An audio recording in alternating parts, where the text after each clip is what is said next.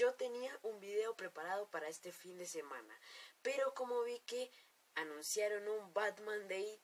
decidí que había que conmemorarlo de alguna u otra forma y la mejor era con un video.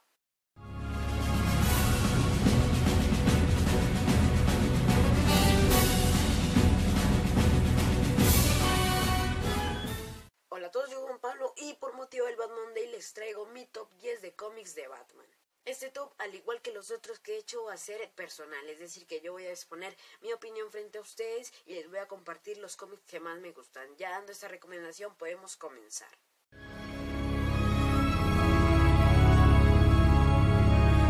En el número 10 está Batman Loco Amor, que es un eh, cómic que eh, inspiró uno de los episodios de Batman, la serie animada, y que yo primero vi, digamos que el episodio y luego ya leí el cómic y la verdad es exactamente la misma, eh, la misma historia del cómic, la misma relación de Harley Quinn con el Guasón, le, todo es lo mismo, eh, todo, este dibujo fue inspirado por Bruce Timm y la verdad es uno de los mejores cómics de Batman que yo he leído, la verdad tanto las historias de Bruce Timm como sus dibujos son muy buenos y la verdad a mí me gustan mucho las series animadas. Gracias a él por sus dibujos y por las historias que tiene. Y en sí en este cómic se nos muestra una retorcida eh, digamos relación de amor entre Harley Quinn y el Joker que la verdad siempre me ha gustado. Y en sí eh, pues digamos que es un gran cómic que inspiró un gran episodio que es uno de los mejores. Y pues por eso está en este top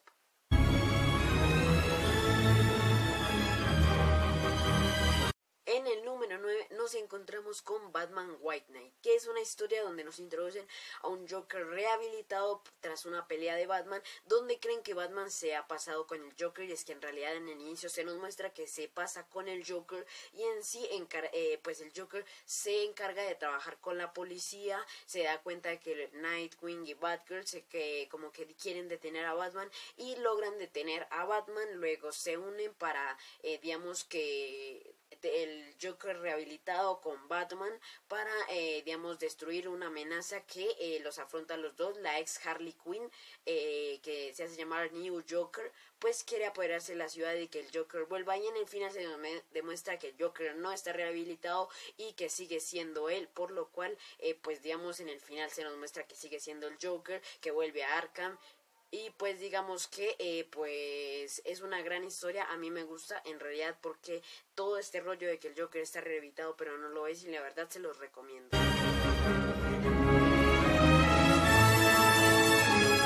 En el número 8 nos encontramos con Batman Metal, que para algunos puede estar en un lugar más alto, pero para mí en está en este lugar porque creo que hay mejores historias. Y en sí este cómic me gusta mucho porque nos introduce versiones oscuras de Batman, que pronto les traeré mi top eh, de las versiones oscuras y de las versiones alternativas de Batman. Y se nos muestra que está eh, eh, Red eh, Red Blood, está el Batman que ríe, está el Batman Doomsday, están todas estas versiones que digamos son oscuras y que en sí pues permiten que a Batman y a la Liga de la Justicia se les haga mucho más difícil ganar. Me gusta toda la historia que eh, está alrededor del noveno metal, que las historias de las tribus, de la, del murciélago, de todo esto y la verdad se los recomiendo porque es una gran historia que nos involucra las versiones de Batman que él propio es la puerta hacia el multiverso y la verdad por esto, porque se centra en esto de que la importancia de Batman en el multiverso,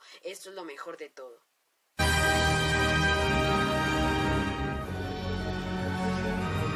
En el número 7 también nos encontramos con uno que ustedes querrán que esté en un lugar más alto y es Killing Joke. Killing Joke a mí me parece un gran cómic, la película pues sí me gustó porque eh, digamos que era la misma adaptación y digamos que en la película le dieron más protagonismo a Batgirl como que para que entendiéramos la razón porque el Joker hizo eso y en sí el Joker nos los introducen como a la mitad de la película y en el cómic digamos que es en sí el protagonista principal digámoslo así y pues la película el cómic me gusta en realidad porque es un cómic diferente que nos trata de mostrar algo mucho más diferente, mucho más digamos que violento, mucho más maduro. Y esto es lo que me gusta de los cómics de Batman que son mucho más oscuros. Y este en verdad es bastante oscuro porque nos tratan de mostrar de alguna forma que alguien puede volverse loco con alguna u otra eh, digamos que un mal día. Y eh, pues en sí el Joker está es un criminal que está loco por un mal día y eso es lo que nos trata de mostrar en el cómic y la verdad eso es lo que más me gusta de este cómic y la verdad es uno de los mejores de Batman. Aunque sí se me hace algo corto y creo que pudieron profundizar algo más en la historia pero así está muy bien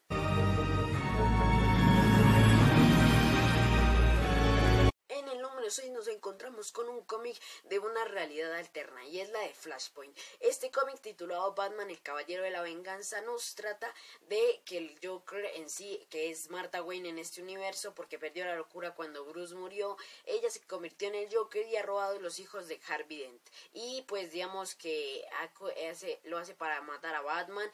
termina matando a Gordon, casi mata a la niña, a, la, a uno de los hijos de Harvey Dent y al final Batman la rescata sabe lo que le cuenta lo que Bruce hace en la otra realidad donde ellos murieron, ella se vuelve totalmente loca y termina muriendo y pues Batman eh, pues no logra salvarla eh, de su locura y este cómic me gusta mucho porque nos trata de otra realidad alterna, eh, algo así como el What If de DC, qué hubiera pasado si esto no hubiera pasado, si esto hubiera pasado y eso es lo que se nos presenta en Flashpoint, esa es la principal,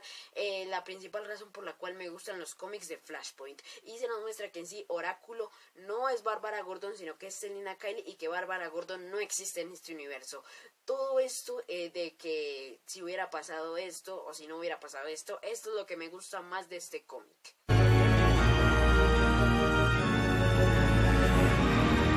Mejor forma de entrar a un top 5 es con The Dark Knight Returns, uno de los mejores cómics de Batman, uno que nos, eh, que nos trae a 10 años después eh, donde Batman perdió a Jason Todd y por esto se retiró un Batman viejo, un Batman retirado, que encuentra la manera de regresar, que encuentra la manera de volver a ser el héroe de Gótica y que a través de digamos de distintas maneras logra volver a ser el Batman que es y la verdad es que yo leí primero el cómic, luego salió la película y la película me encantó. Las dos partes son exactamente iguales. Eh, digamos que así no hayan tratado la parte de la botella de Candor. Eh, las dos partes estuvieron muy bien. Y pues eh, el final, digamos que de, de, Dark Knight Returns, donde él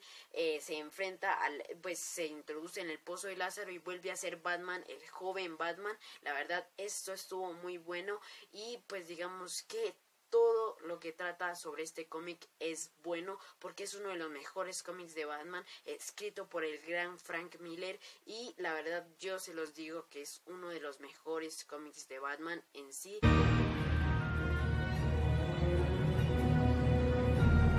En el número 4 nos encontramos con Batman, la corte de los búhos, que es la eh, digamos, el cómic en el que se basaron para hacer Batman vs. Robin. Y aquí se nos muestra que el asesino de la corte de los búhos es el hermano, eh, digamos que perdido de Bruce Wayne, Thomas Wayne Jr., quien digamos que en esta realidad es el Old Man que se nos presenta en otra de las versiones de Batman. Eh, pues eso ya se los voy a explicar después. Thomas Wayne Jr. fue un niño que, pues Batman, Bruce Wayne recuerda que su madre estaba eh, pues embarazada. Lamentablemente pues sus padres tuvieron un, eh, tuvieron un accidente al niño lo sacaron y la corte de los búhos lo adoptó cuando murieron sus padres y pues digamos que lo adoptaron para que al final eh, digamos que retomara la, el control de de Gótica a través de que él fuera el alcalde para la corte de los búhos y todo este rollo de que Batman tiene un hermano, de que Nightwing podía ser haber una, eh, pudo haber sido un asesino de la corte de los búhos, no me lo esperaba y la verdad es uno de los mejores cómics. ¿Por qué? Por todo este rollo de los de la corte de los búhos, de que controlan Ciudad Gótica y de todo esto, la verdad a mí esto es lo que más me gusta.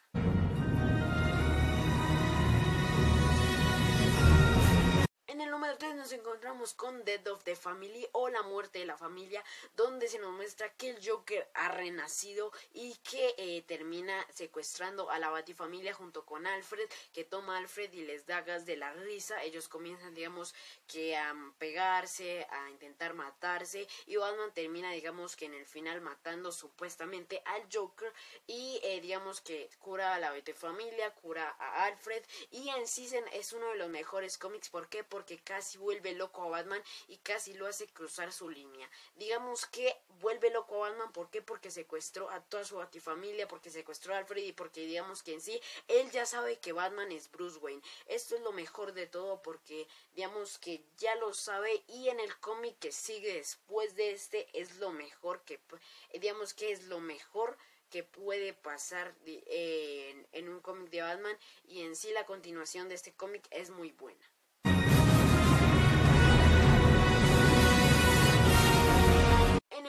Nos encontramos con Batman Hush, que dijeron que lo voy a dejar fuera de este top, no lo voy a dejar fuera de este top, ¿por qué? Porque para mí es el segundo mejor cómic de Batman, porque nos presenta una nueva historia, porque nos presenta a un acosador llamado Hush que trata de que de, eh, de acabar con Batman, que utiliza una gran parte del arsenal colorido de, Batman de los villanos, que cada uno, eh, digamos, le pone una tarea para acabar con este, para su plan, y digamos que en sí todo lo bueno de este cómic eh, tiene que eh, estar en dos puntos, en la eh, relación de Catwoman y Batman, y Batman y en la cercanía de Thomas Elliot como gran amigo de Bruce Wayne. En sí, la revelación de quién es Hush es todo un misterio y al final nos dejan con la boca abierta. En sí, la película fue muy mala como adaptación, pero en el cómic se nos muestra una historia diferente, entretenida y que nos muestra mucha intriga. Cada cameo es muy bueno. El Joker, Harley Quinn, Superman, Hiedra Venenosa, todos, todos, todos aquellos personajes que no esperábamos ver y que al final nos llevan a todo. Es muy bueno ver este cómic tanto en una película, aunque la película no es que sea muy buena como adaptación, pero el cómic es buenísimo y la verdad se los digo que es uno de los mejores cómics de Batman y para mí el segundo mejor.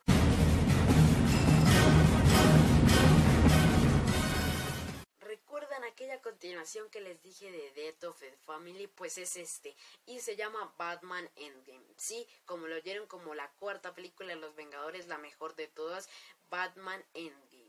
Pues en esta se nos muestra que es el juego final entre el Joker y Batman. Se nos muestra que en sí, en esta película, el Joker regresa de la muerte, eh, digamos que mata a Jim Gordon, creo que lo alcanza a matar. Eh,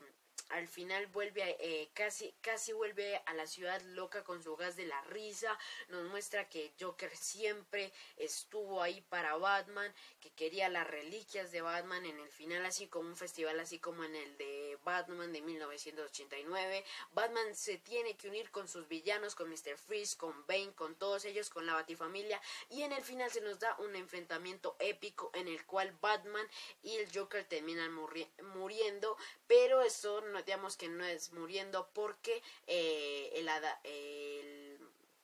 en el regreso de Batman, que es el cómic que continúa esta historia, se nos muestra que el Joker salió de este, eh, digamos que de este